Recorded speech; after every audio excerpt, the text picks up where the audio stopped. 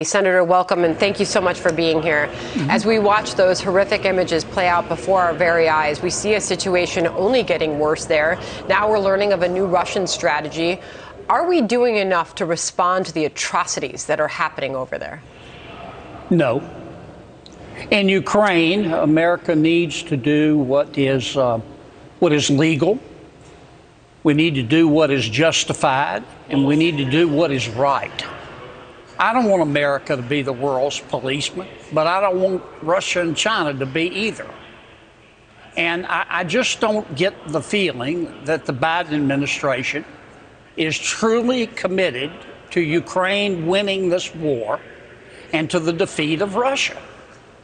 Uh, th- this is not a uh, Princeton Yale fencing club match. This is a prison yard brawl.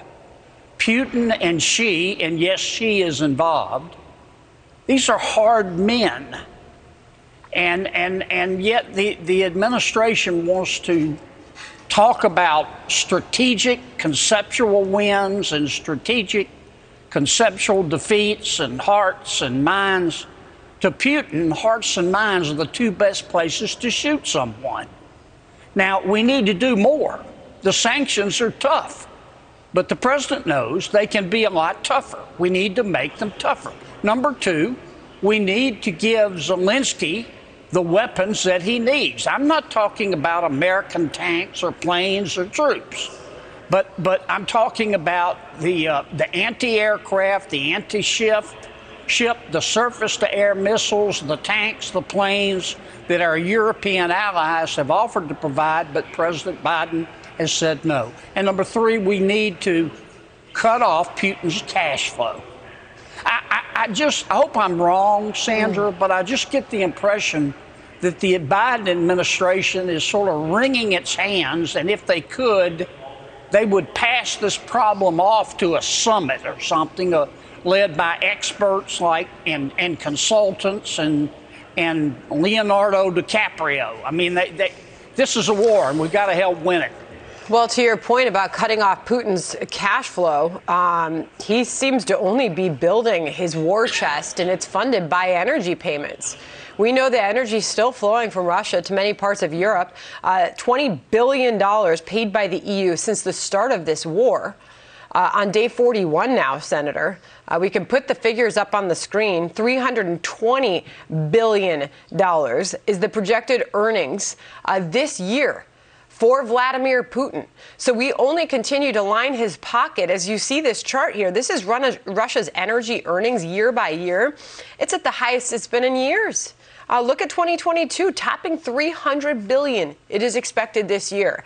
So I'll ask you what we can do, as it is re- being reported over the wires literally right now uh, that it is expected the U.S. is going to announce more sanctions tomorrow. But what do we do? How do we cut off? How specifically do we cut off that cash flow to Putin?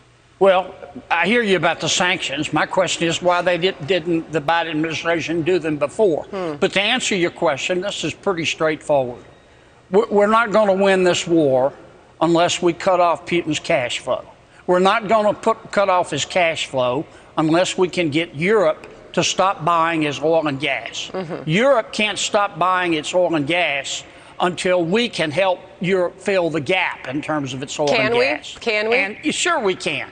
But the president, president has got to take his boot off the throat of the oil and gas industry. He hasn't.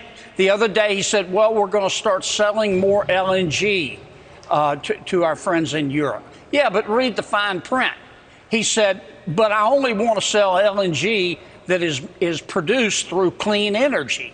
I don't know an LNG plant that runs off wind or solar. Mm-hmm. And then he said, and by the way, I am not going to change the regulatory environment through which I'm trying to put the oil and gas out of business. Senator, at the same time, you're saying that the Biden administration has got to take the boot off the throat of the oil and gas industry. They're doing quite the opposite. I mean, you look what Democrats are doing in Congress, and they are bringing in top oil and gas executives uh, onto Capitol Hill tomorrow. They're sitting them down for this hearing, the the Energy and Subcommittee, uh, Energy and Commerce Subcommittee, and they're going to accuse them of price gouging. This is the chairman of that committee. Just to give you a little bit of what we are going to hear from these members of Congress. Listen to this.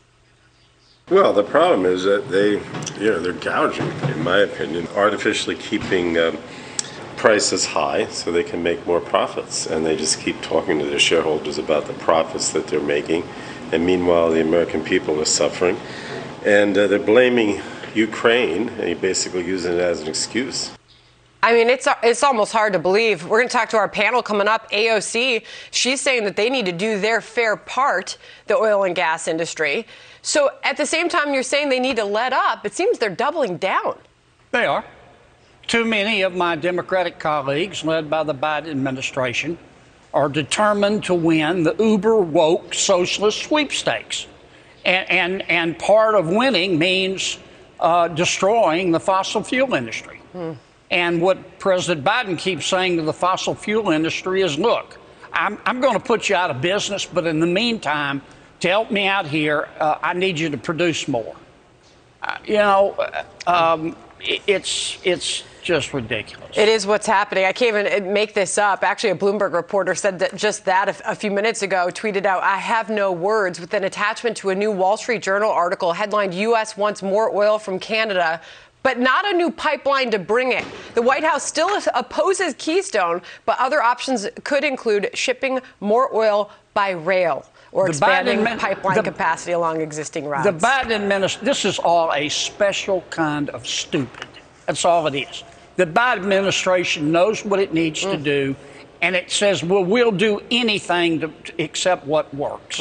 It's a special kind of stupid. Well, at the same time that they're accusing those um, gas stations of gouging, 95% of those are the little guys. They're bringing in the big oil companies tomorrow to accuse them. Um, so it's really something. We've got the biggest representation of the oil and gas industry in this country. The American Petroleum Institute uh, is going to join us next hour. We'll ask them about all this. Senator, we really appreciate you joining us. Um, You bet. thank you very much, sir.